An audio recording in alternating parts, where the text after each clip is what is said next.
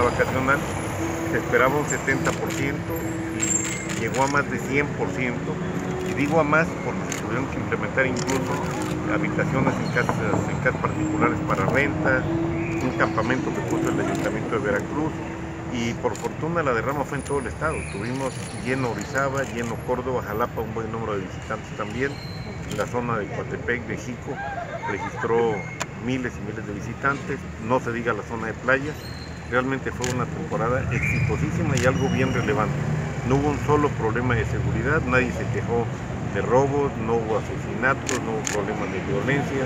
Saldo fue una, blanco. semana muy, muy positiva y continúa en esta semana de Pascua. ¿Podríamos hablar de que eh, lo que resta de, esto, de este periodo vacacional de Semana Santa se pueda llegar incluso a los 1.500 millones de pesos? Bueno, ¿En no, no, yo no- a mí no me gusta estimar así la derrama porque no la tenemos. Sin embargo, lo que se apreció fue una derrama mayor que en otras ocasiones y se estima que ha sido la mejor temporada vacacional de toda la historia en Veracruz. Oiga, y como usted decía, el tema de la seguridad no influyó en la visita de No, los es que turistas. hay seguridad en Veracruz. Yo estuve en varios lugares, estuve en Chachalacas, estuve en Tuxtlas, estuve en la zona conurbada, estuve en el norte y nadie se quejó de inseguridad. Había muy buenas medidas de seguridad. Lo que sucedió en el penal de la toma fue en un espacio confinado, no fue en las calles, un espacio totalmente confinado. Oiga, sobre ese tema, se acaba de informar que murió uno de los eh, presos que estaba ah, en un hospital internado como grave. Sí, estaba policontundido y falleció uno de los internos. Ya son ocho entonces los que Ocho, fallecieron. Y preguntarle si hay eh, algún tipo de investigación sobre estas denuncias que se hacen de autogobierno dentro de este No, penal no hay de la Toma. autogobierno, lo que hubo fue una falta de lealtad, una infidencia de algún funcionario de rango menor que filtró la información de que se haría el traslado. Y al llegar la policía ya estaban advertidos los internos, ya no hubo eh, factor sorpresa que era muy importante para llevarlo a cabo de manera exitosa. Se prepararon, eh, cometieron el crimen que cometieron, asfixiaron a sus compañeros, dos de la Policía Municipal de Orizaba, dos de la de Veracruz, un cadete y un custodio de Coatzacoalcos.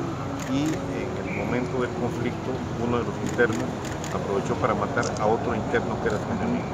Oiga, y entonces, eh, ¿qué va a pasar? ¿Ya hubo sanciones contra estos funcionarios menores, contra el director del Ya se CEDESO? están iniciando las carpetas de investigación contra ellos y habrá sanciones penales o administrativas de acuerdo a lo que se determine. ¿Se removió al director del CEDESO? Hay una persona que está a cargo y el secretario de Seguridad Pública permanece allí. Han hecho un, un análisis y esto está pasando en el resto de los centros penitenciarios. Hace poco se manifestaban que en Pacho Viejo cobraban hasta por la visita Es conyugal. mentira, esas son de las cosas que se dicen sin que nadie acredite nada. Pueden decir eso, pueden decir cualquier otra O sea, cosa. no hay denuncias formales. No, no hay ninguna denuncia formal. En todos los centros hay espacio para presentar denuncias. Si alguien tiene alguna denuncia formal, que la presente.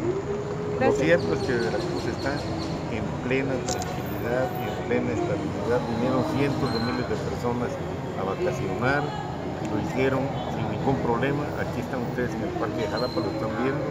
No hay ningún problema para nadie. Fue un centro confinado, en un espacio bardeado, donde sucedió esto, muy lamentable, muy grave, muy triste. Ya se han tomado las decisiones. Yo estuve ayer, el centro está bajo plena, pleno control del gobierno y esperemos que es un hecho de esto no se vuelva a repetir.